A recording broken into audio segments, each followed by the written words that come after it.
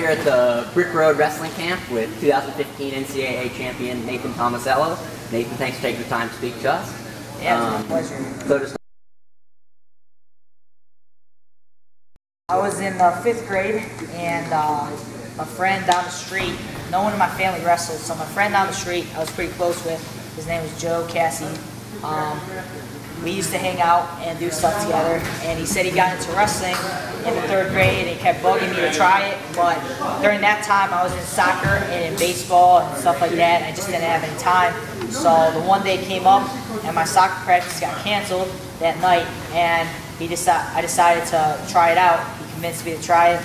I went and went to this youth practice, and thought it was going to be WWE stuff, fake wrestling, and I was surprised when I got in there. Guys were doing drop steps and stuff like that, and once I did the first practice, I started like the sport and came back, went back into it, and did pretty well after that. So that was kind of the basic storyline for getting into it. great. Was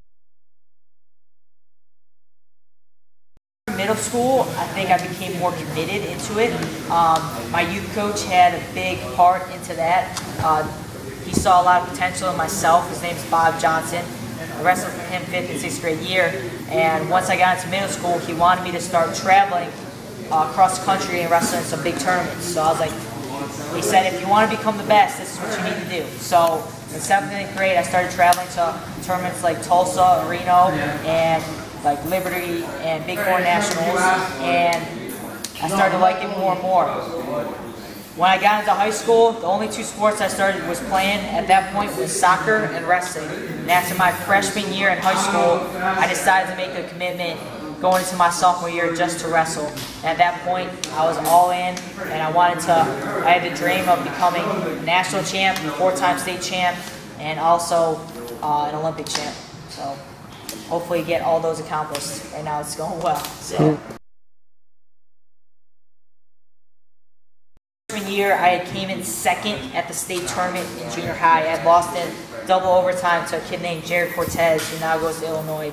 And after that, um, I went to Fargo Nationals and took third as a cadet. So those two tournaments were pretty important into how I viewed going into my freshman year if I could win state tournament. I felt like I was there, I was wrestling, I was improving every single day, and I just thought that I saw some of the greats come in and win it as freshmen, and I wanted to be one of those guys that has had the potential to become a four-timer. So um, once I got into high school, that's what that and soccer were just the only two sports I played, and uh, I felt like during the season, uh, my fall year, I didn't get to practice as much as I wanted to because of soccer. So that's kind of ultimately why I chose to do just wrestling after I won it my freshman year because I wanted to commit all my time into becoming a four-timer after that.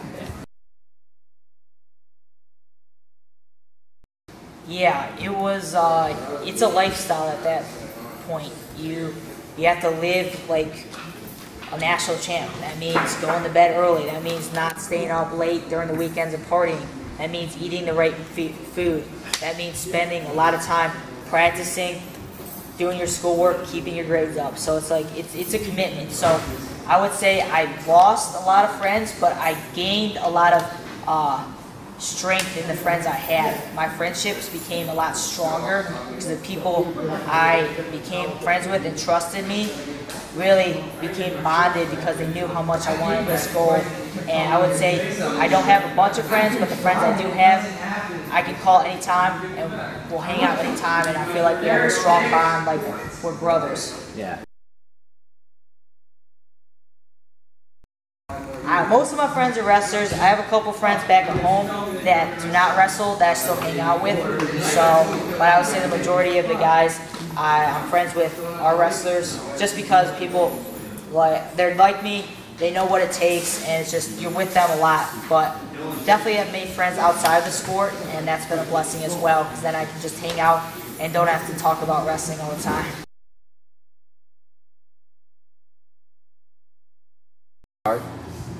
I think when I was younger, I was a kid that once I got into wrestling, I wasn't that social. I think um, as the years have progressed, my personality has opened up and I can talk now and relax. I think when I was younger, especially in middle school and part of my high school years, all I was was focused on wrestling. I was really serious, but I think getting the right coaches and meeting the right guys the last couple years have really helped me open up and then become more of a guy that I can hang out with, relax, and like chop it up afterwards. But during the room, I'm still that same focused kid. So I definitely, I think I've improved on that, being able to switch it on and off. But it's it's definitely been uh, an experience and life lessons that have helped me become that way.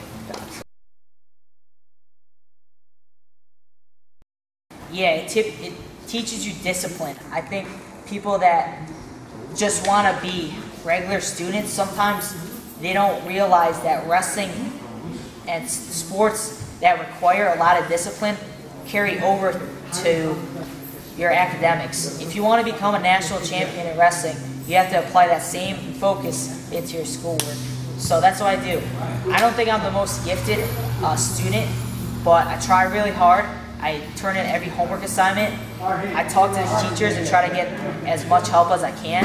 And I just, I'm committed to doing any, any of the work. So I think it just makes me, wrestling has helped me become disciplined and just do whatever it takes to, to get the great grades and to do well in school.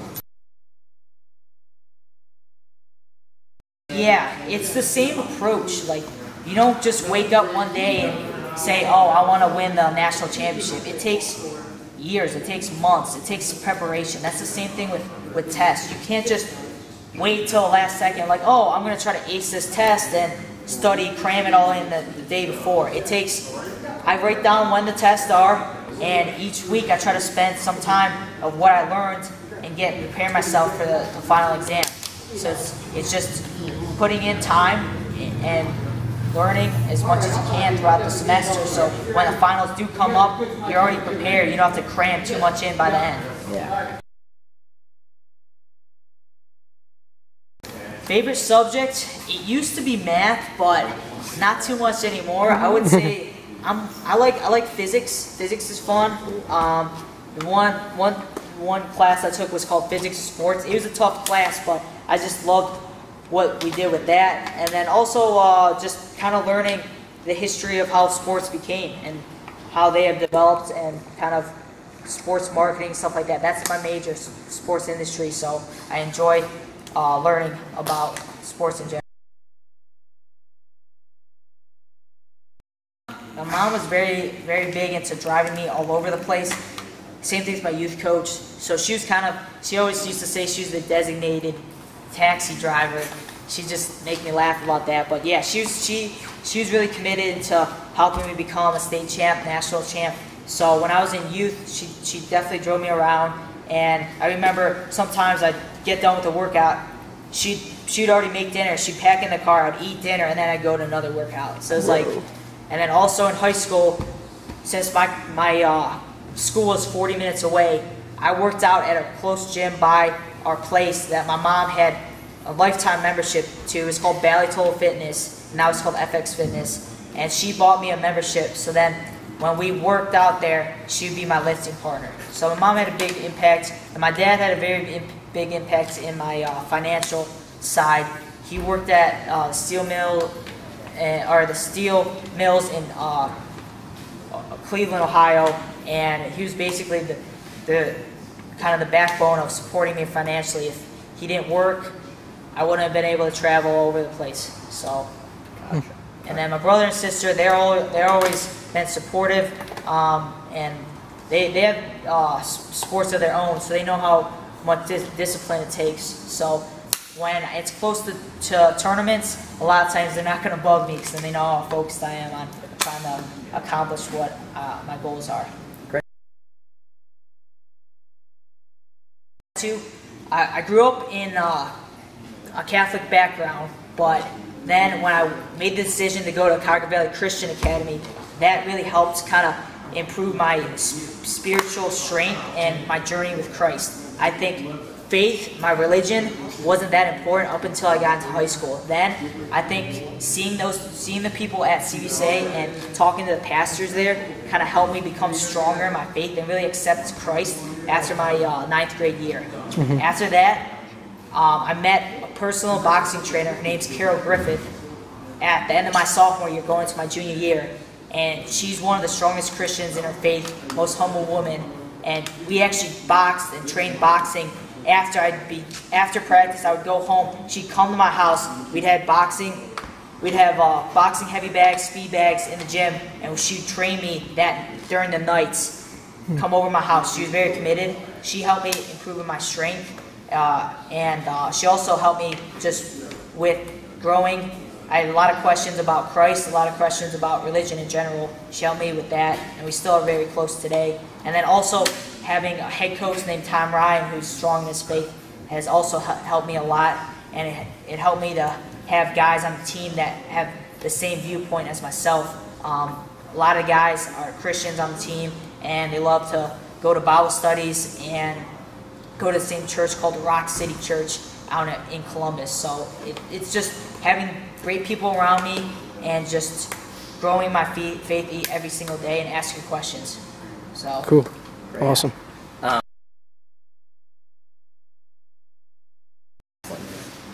most important lesson I would say is just being humble in what you do and putting in everything you have. That's the that's the biggest thing. Like you can win and become a national champ, but you still are just an average guy who sins, and you need God's grace uh, to redeem yourself. And when you, the sport of wrestling is the most humbling sport there is. It's hand-to-hand combat. It's you versus that other guy. So you can be on top of the world the one day and win a national championship, but then you can go the next day and lose and lose to guys and just say what's up? You know like this that's that's like the biggest thing. Like you could be the best the one day but also then you cannot even place at nationals the following year. So it's mm-hmm. like every single day putting in everything you have to improve and make the most out of every single day.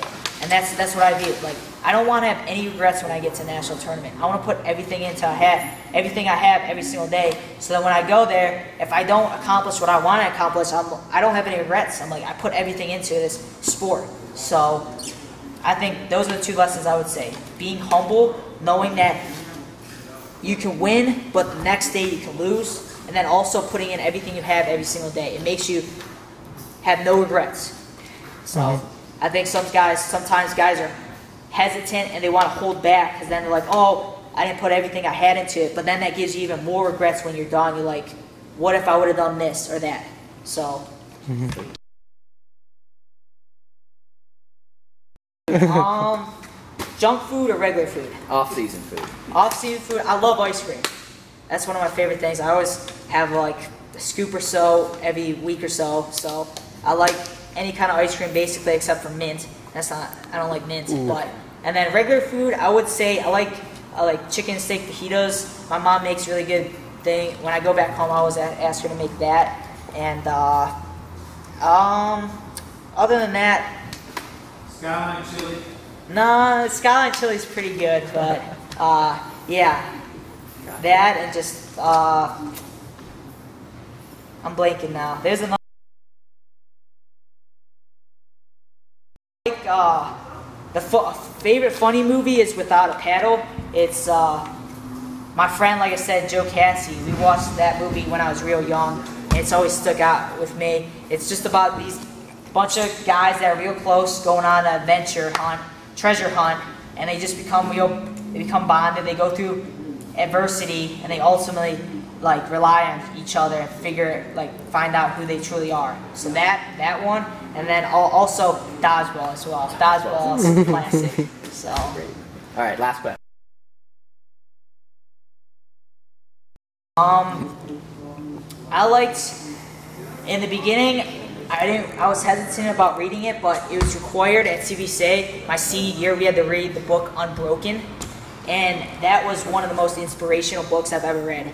The movie does not do it justice. I would say if you go see the movie, you have to read the book because the book's ten times better than the movie. Because this guy, this guy goes through hell, and it just shows you how much courage and how much will people have. I think sometimes we let our mental me- mental uh, side just get to us and we don't put in everything we have. But you see, when you you're put to life and death, that your lot, your muscles, your body is a lot stronger than you think.